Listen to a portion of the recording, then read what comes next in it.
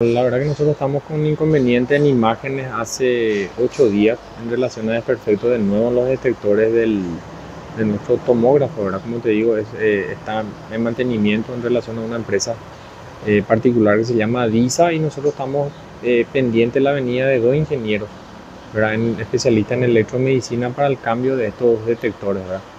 El, proceso burocrático consiste en hacer la solicitud a la DIGIES, que es un brazo del, del ministerio, la DIGIES emite una orden de trabajo.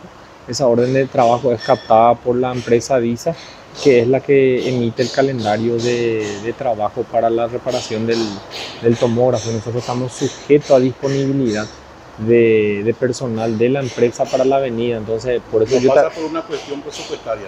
No es una cuestión presupuestaria, el presupuesto está y el contrato abierto está. Por eso yo te había comentado, incluso si nosotros queremos reparar de manera particular, también lo puedo hacer, ¿verdad? Porque yo, nosotros disponemos de algún fondo que podemos ir eh, dando la vuelta para el pago, pero el problema es que no cualquier persona se encarga eso. ¿Por qué? Porque justamente la marca que representa DISA también tiene sus materiales y elementos que son dependientes de esa marca y solo un representante es la que se encarga del, del, proceso de la obtención de esos detectores.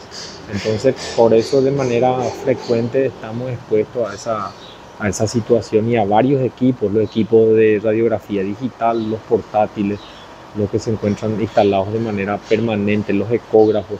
Entonces cada una de, estas máquinas está en relación a un representante, a una línea de, empresas de electromedicina que se encargan de su representación.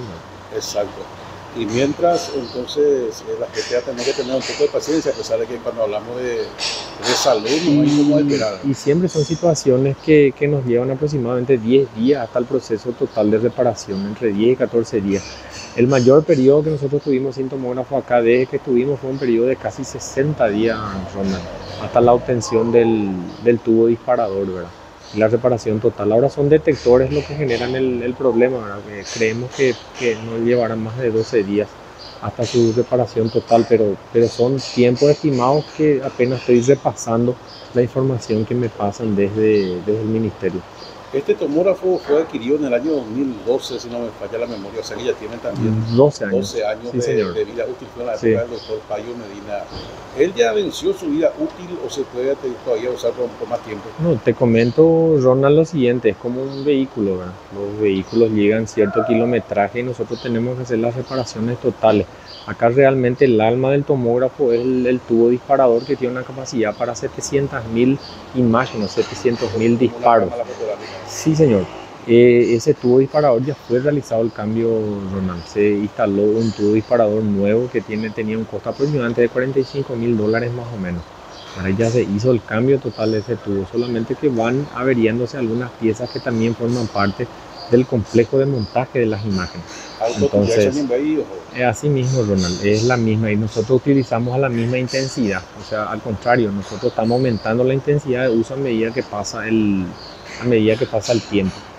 Eh, a manera de paliar estos estudios, nosotros estamos valorando los casos de, de urgencia y la insolvencia de los pacientes.